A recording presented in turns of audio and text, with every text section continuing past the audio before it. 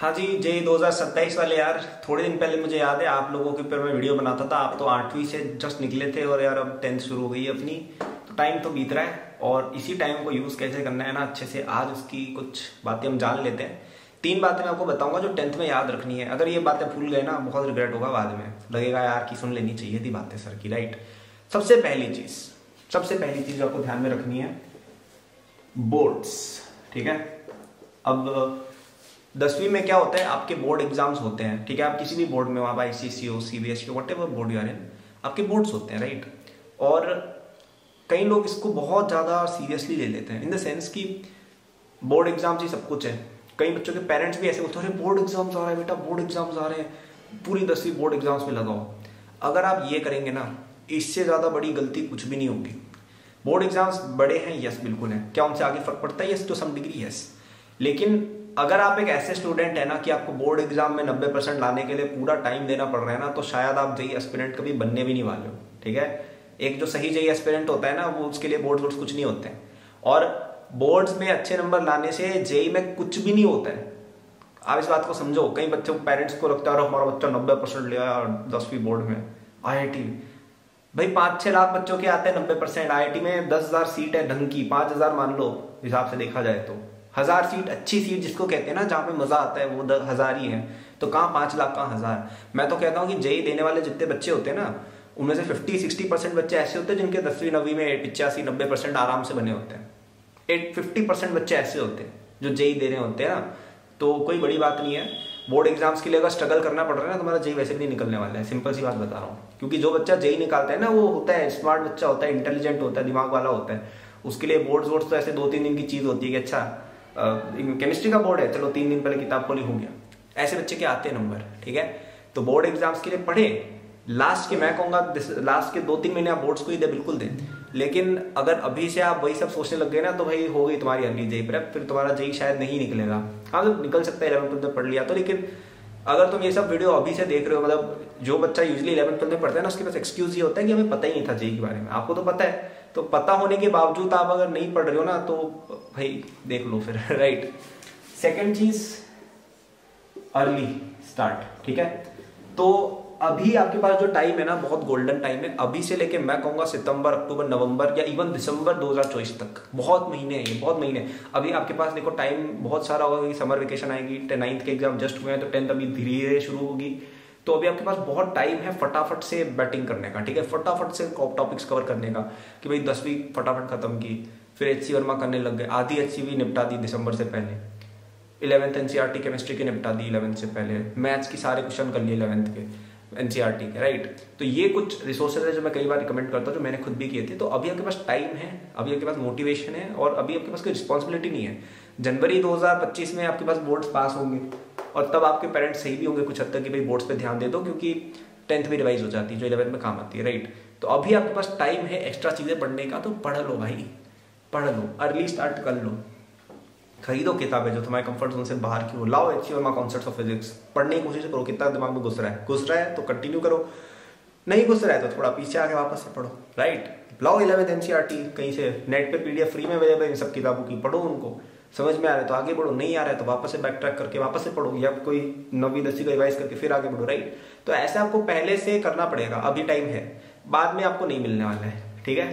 तो use this time really well early पढ़ो तो दो पॉइंट्स पहला बोर्ड्स के पीछे पड़ गए तो नुकसान हो जाएगा बड़ा वाला, ठीक है? अगेन मैंने एक बात बोली है कि अगर आप एक ऐसे स्टूडेंट हो कि भाई नवी में पचास परसेंट आए लेट से तो यार मेरे हिसाब से फिर बोर्ड्स पे ही ध्यान दे दो यार, ठीक है? ये अर्ली जेई प्रेप उन बच्चों की कहानी ज़्यादा होती है जिनका लेट से बोर्ड्स में ही नब्बे परसेंट ऐसे ही आ रहा है फ्री पॉकेट में। मतलब जैसे कई बच्चे हैं आप में से आई एम श्योर कि मतलब मेरे को कमेंट से बताओ कि आप वैसे बच्चे हो नवी में कितने परसेंट लाओगे? ये मुझे कमेंट से बताओ। मतलब जो बच्चे लाते हैं ना, अच्छी रैंक अर्ली जेई प्रेप करते हैं।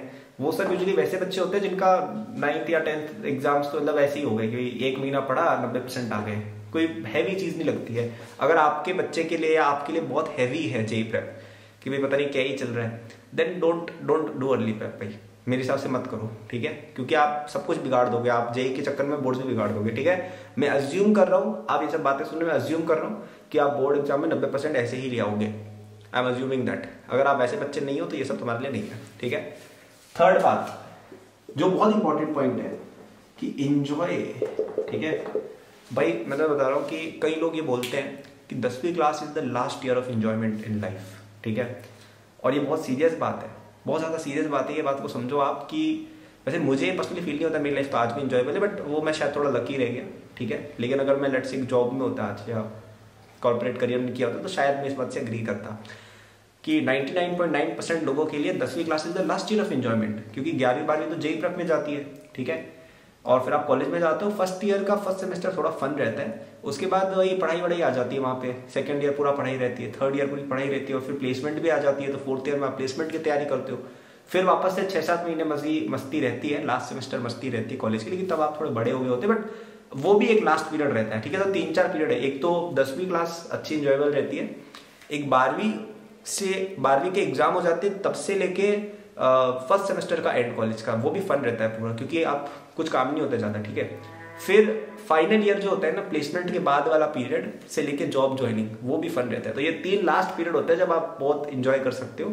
उसके बाद आपकी जॉब शुरू हो जाती है, फिर कोई इंजॉयमेंट नहीं रहती लाइफ मतलब हाँ ऑफकोर्स रहती है यार, मैं तो तुम्हारे पेरेंट्स भी तो इंजॉय कर रहे हैं, वो बात नहीं है। बट जो एक फ्रीडम वाली बात होती है यूथ वो वो यहीं पे है, बस ये तीन पीरियड है राइट अब अगेन आप बाद में एस्केप द मैट्रिक्स कर जाते हो तो फनी फन है बट मैं बता रहा हूँ वैसे नाइन्टी नाइन परसेंट लोगों के लिए ये कहानी रहेगी जो मैं कह रहा हूँ राइट तो अभी जो ये टेंथ वाला पीरियड होता है ना बहुत ही अच्छा पीरियड है। चाइल्डहुड भी है अभी आपका, आपकी जेन्यून फ्रेंडशिप्स भी होती है स्कूल टाइम होता है, कोई ज़्यादा काम धंधा है नहीं भाई तुम्हारे पे। जे प्रेप तो यार ये तो एक्स्ट्रा चीज़ कर रहे हो राइट तो आपको बाद में ये समय याद आएगा। बहुत याद आएगा, ठीक है? स्पेशली जो बच्चे स्कूल रेगुलर जाते हैं। तो स्कूल जाओ अच्छे से, मस्तियाँ करो दोस्त वोस्त बनाओ, और ऐसी कुछ हरकतें करो जो मतलब ऐसे रूल्स से मत चला करो। यार, मैंने देखा कई बच्चे ना बहुत गुड बॉय बनते रहते हैं। भाई मत बनो यार गुड बॉय बनने के कुछ नंबर नहीं मिलते हैं यार। कोई नंबर नहीं मिल रहे तो भाई अच्छा बच्चा बनने की। मस्तियाँ करो एकदम, ठीक है? करो रूल्स ब्रेक करो। प्रिंसिपल ऑफ़िस में जाओ दो चार बार, ठीक है? उससे कैरेक्टर बिल्डिंग होती है। ये सब पढ़ पढ़ के ठीक है, ये अच्छी बात है देखो। लेकिन एक अच्छी फन साइड जैसे मेरा, मैं स्कूल में था, अब ठीक है, मैं पढ़ता था, बिल्कुल पढ़ता था मैं। लेकिन मेरी एक साइड थी, मेरे सारे दोस्त एकदम वैसे वाले होते थे, एकदम खराब वाले बच्चे नहीं होते जिनको तुम खराब मानते हो, मैं तो वो बड़ा अच्छा मानता था, आज भी मानता हूँ। मेरा वो वाला सर्कल बहुत रहता था तो बहुत मस्तियाँ भी की थी नाइन टेंथ पूरा पीरियड राइट तो you have to have those memories as well तो इन्जॉय करो इस टाइम को, अपनी पढ़ाई को भी इन्जॉय करो, अपने चाइल्डहुड को भी इन्जॉय करो। आपकी फैमिली के साथ आप अभी हो, वो एक बहुत बड़ी ब्लेसिंग लगेगी आपको आफ्टर अ वाइल मतलब जब आप तीन चार साल बाद कॉलेज में होगे आपकी प्लेसमेंट होगी ना तो आप वापस शायद घर ना आ पाओ इतना. ठीक है? तो ये लास्ट पीरियड्स है जब आप रहोगे तो इन्जॉय करो इस टाइम को अच्छे से. अपनी फ्रेंडशिप्स को चेरिश करो. अपने इस टाइम को जो तुम्हें मिल रहा है ना, बहुत ईजी होता है इसको ग्रांटेड लेना. मुझे तो लगता है कई लोगों ने तो छोड़ भी दी होगी वीडियो अब तक, कि भाई क्या बकवास कर रहा है बंदा. बट आपको ये बाद में रियलाइज़ होगा, ये बहुत इंपॉर्टेंट और प्रीशियस टाइम था. ठीक है? तो प्लीज़ भाई यूज़ करो इस टाइम को। ऐसा मत करना कि पढ़ाई में ही रह रहे एट्टी परसेंट पढ़ाई करनी है ट्वेंटी परसेंट मस्ती भी करनी है। खेलना वेलना सब कुछ करना है, ठीक है? ऐसे डल बन बन के मत रह जाना, ठीक है? तो in this note I will end और अगर आपको ये सब करने में और हेल्प चाहिए अर्ली स्टार्ट अच्छे से चाहिए बोर्ड्स की प्रिपरेशन भी हो जाए, ऐसा सब कुछ चाहिए तो मेरा J twenty seven course fifty percent discount पे अवेलेबल है बारह मार्च तक, ठीक है? तो यूजली वो कोर्स दस हज़ार रुपये का सेल होता है पूरे महीने।